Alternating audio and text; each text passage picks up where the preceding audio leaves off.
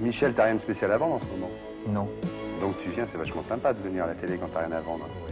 Oui, bah, pourquoi pas, pourquoi pas. Non, c'est gentil. Tu viens souvent au bain, c'est pour ça. Ça m'arrive.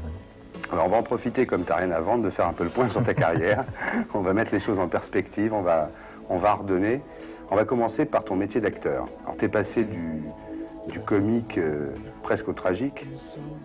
Oui, enfin, dans une soirée, il y avait effectivement des... Il y avait à la fois des choses très comiques, euh, très drôles, et puis des choses un petit peu dures, oui. Et c'était justement tout, tout l'intérêt de... Enfin, tout l'intérêt du film. Il y avait d'autres intérêts pour moi, mais Mm. je trouvais que c'était une des raisons principales d'accepter le rôle égoïstement en tant qu'acteur. L'autre raison étant que je trouvais le scénario sublime, mais... Acteur cinéma, acteur télé.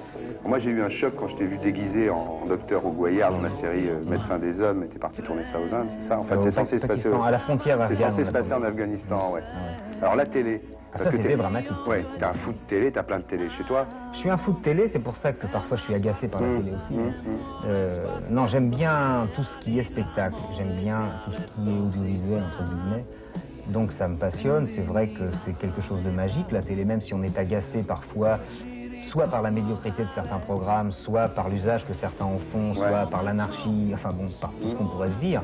C'est quand même euh, une, peut-être une des deux ou trois choses euh, essentielles de ce siècle. C'est une révolution. T'aimes quoi la télé Dans le nouveau paysage audiovisuel, t'aimes quoi? Ah, dans le nouveau, peut-être, je dirais, moins de choses parce qu'on a supprimé certaines choses que Mhm. j'aimais.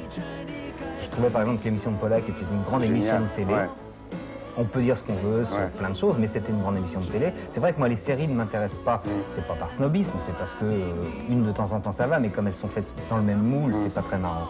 J'aime bien, j'aime bien les variétés, j'aime bien les talk shows aussi. Ça peut être euh, intéressant, ça peut être ennuyeux, mais ça peut être intéressant. Alors, acteur cinéma, acteur télé, réalisateur, quel bilan tu fais? Bon, Marshall c'est un succès énorme, mais en tant que réalisateur, est-ce que tu penses que finalement, euh, disperses pas un peu en faisant ça C'est-à-dire, est-ce que quand tu fais un film en tant que réalisateur, est-ce que tu penses que tu te fais plaisir ou vraiment tu as envie de réaliser des films? Tu as quelque chose à faire au niveau de l'image Ah ça, euh, savoir si j'ai quelque chose à faire dans l'absolu, je ne sais pas. Moi, je, Non, ça me passionne. Non, oui. très franchement, ça me passionne. Ça me passionne autant que de jouer la comédie. Ouais.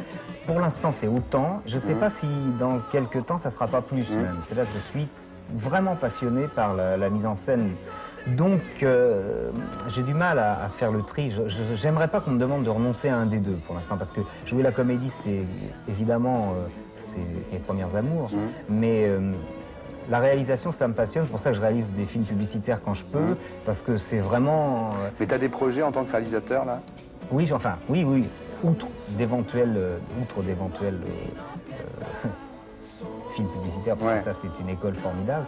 Je, je travaille à l'écriture d'un deuxième, euh, deuxième film que je voudrais réaliser, mais comme c'est une chose qui est assez personnelle, je ne sais pas si je mettrai deux mois, six mois à l'écrire. Alors donc c'est un projet dont pour l'instant je parle pas, il n'est pas assez mûr, et je veux pas réaliser comme ça. Un long métrage c'est un an et demi de sa vie Ouais. entre l'écriture au moins, donc il faut vraiment être sûr qu'on est emballé par le sujet, que, que ce qu'on a écrit, on ne va pas s'enlacer au bout de- mois de tournage. Alors, la mise en scène de théâtre, bon, il y a eu l'excès contraire euh, que Sagan.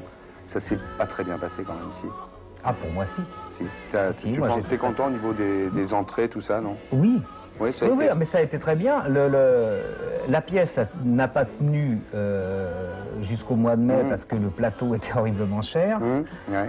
Donc, euh, quand on est obligé de, de- de faire complet tous les soirs, à ce moment-là, on est condamné au triomphe. Alors, chanteur, Oh non, ça c'était une. C'était un gag Oh, c'était un gag, oui. C'était c'est le mec plus ultra. Ah ouais, la- C'est.